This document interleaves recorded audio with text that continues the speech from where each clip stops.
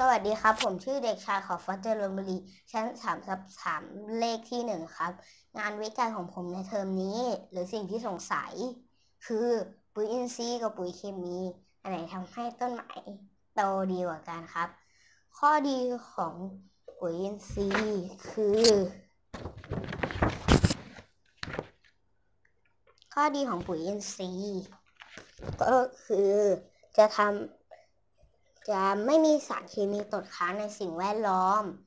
ส่วนข้อเสียคือจะสลายตัวเร็ว โดยให้สารอาหารพืชได้ระยะเวลาไม่นานครับ ส่วนข้อดีของปุ๋ยเคมีคือ สามารถควบคุมสารอาหารให้ตรงต่อการต้องการของพืชได้ครับ โดยสารอาหารที่พืชต้องการคือ N ไนโตรเจน P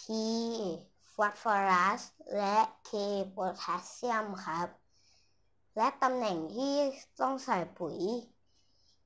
อินทรีย์หรือปุ๋ยเคมีจะอยู่บริเวณที่พืชสามารถดูดสารอาหารไปใช้ได้เร็วที่สุดครับ ส่วนข้อเสียของปุ๋ยเคมี คือ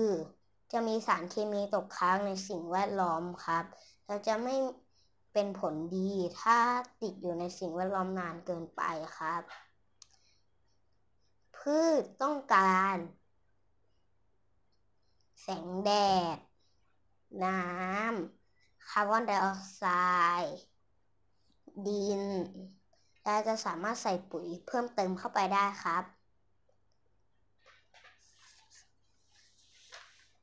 และปุ๋ย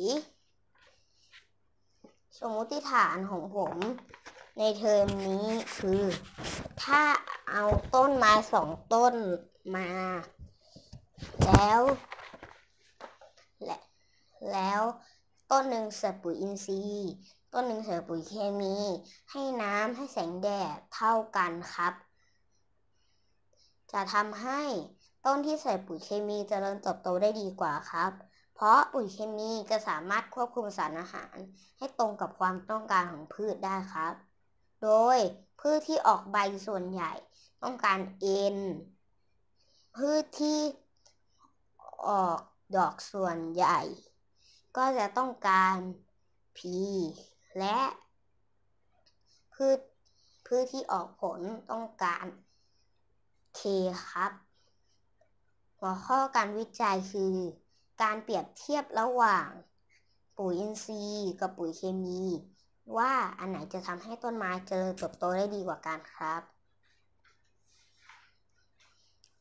วิชาที่ทำได้ดีในเทอมนี้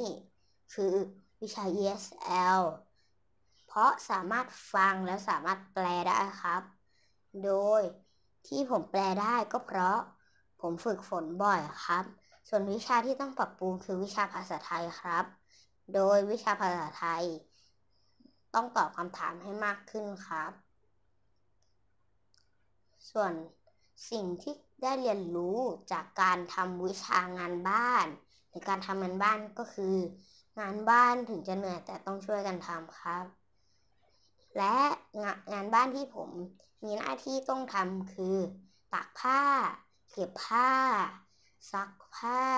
และพับผ้าครับ